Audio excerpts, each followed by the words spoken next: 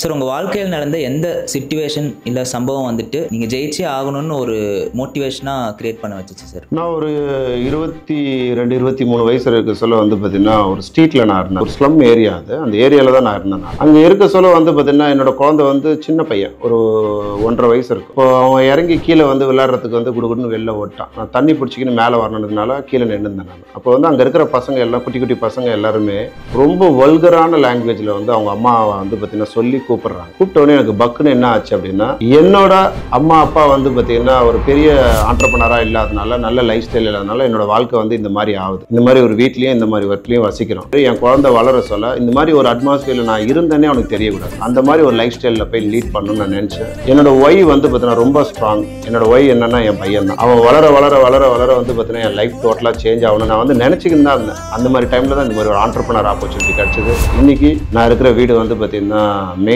Area சென்னையில். Life வந்து black and ஒயிட்லேருந்து கலர்ஃபுல்லாக மாறி இருக்கு இன்னைக்கு வந்து பார்த்தீங்கன்னா உச்சத்தை தொடர அளவுக்கு ஒரு லைஃப் ஸ்டைல்களை வந்து நான் லீட் பண்ணியிருக்கிறேன். என்ன காரணம்னா அன்னைக்கு அந்த சம்பவம் வந்து என் உடம்பையும் மனசையும் ரொம்ப சீரியஸாக பண்ணது. நம்ம லைஃப்பில் எல்லாருக்குமே ஒரு அவமானம் ஒரு அசிங்கம் நமக்கு வரும். அதை நம்ம தொடச்சி போட்டும் போகலாம் நீங்கள் ஜெயிக்கணும் அப்படின்னா நெத்தியில் பொட்டு மாதிரி வச்சுக்கணும். இருக்கிறத நீங்கள் லீட் பண்ணி போனோம்னா அதை வந்து தொடச்சி போட்டு போகலாம் நீங்கள் என்னவா ஆவீங்கன்னு எனக்கு தெரியாது. நானதை சொல்லி நீங்கள் ஒரு ஆண்டர்பனர் ஆகி உங்கள் லைஃப்க்கும் உங்கள் ஃபேமிலிக்கும் ஒரு நல்ல எதிர்காலத்தை கொடுக்கலாம். நீங்கள் பண்ணுற ஃபீல்டில் அது இருக்கான்னு பாருங்கள் அப்படி இல்லைன்னா சபாபதி முத்துக்குமார் யூடியூப் சேனலை ஃபாலோ பண்ணுங்கள் நான் உங்களுக்கு வந்து ஹெல்ப் பண்ணி கைட் பண்ணுறேன் என்ன கான்டாக்ட் பண்ணுங்கள் வாட்ஸ்அப் ஆல் த பெஸ்ட்